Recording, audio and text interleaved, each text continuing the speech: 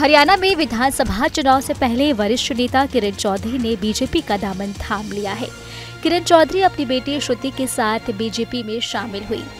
आज सुबह साढ़े दस बजे बीजेपी के हेडक्वार्टर में हरियाणा के मुख्यमंत्री नायाब सिंह सैनी और पूर्व सीएम और केंद्रीय मंत्री मनोहर लाल खट्टर की मौजूदगी में किरण चौधरी बीजेपी में शामिल हुई।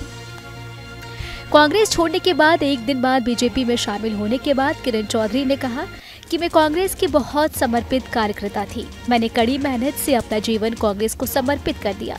लेकिन कुछ सालों में मैंने देखा कि हरियाणा कांग्रेस एक व्यक्तिगत केंद्रित पार्टी बन गई है।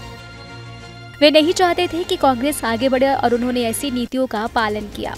तो आप समझ सकते हैं कि हरियाणा में कांग्रेस कभी आगे नहीं बढ़ पाती। उनके कारण बड़े नेताओं ने पार्टी छोड़ दी। मैंने यह कदम यह सुनिश्चित करने के लिए उठाया है कि मेरे कार्यकर्ताओं को उनके उचित अधिकार समान अधिकार मिले।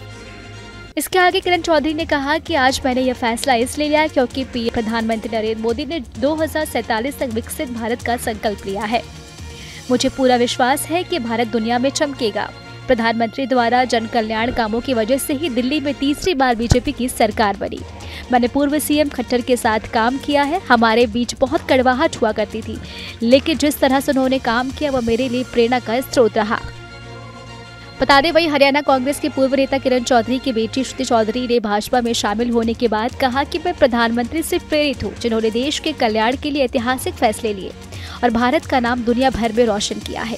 यह हमारे लिए गर्व की बात है कि पीएम मोदी और पूर्व सीएम खट्टर ने चौधरी बंसी लाल के साथ काम किया है। जिस तरह बंसी लाल ने मेहनत की, हम भी उसी तरह मेहनत से भाजपा में शामिल हो रहे हैं।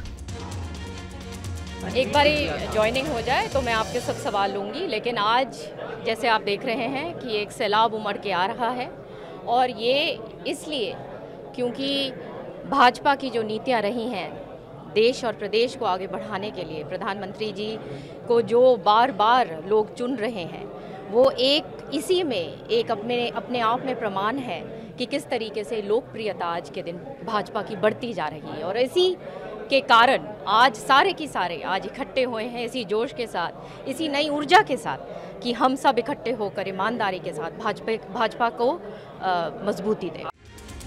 बता दें, किरण चौधरी और श्रुति ने मंगलवार यानी 18 जून को ही कांग्रेस से इस्तीफा दे दिया था।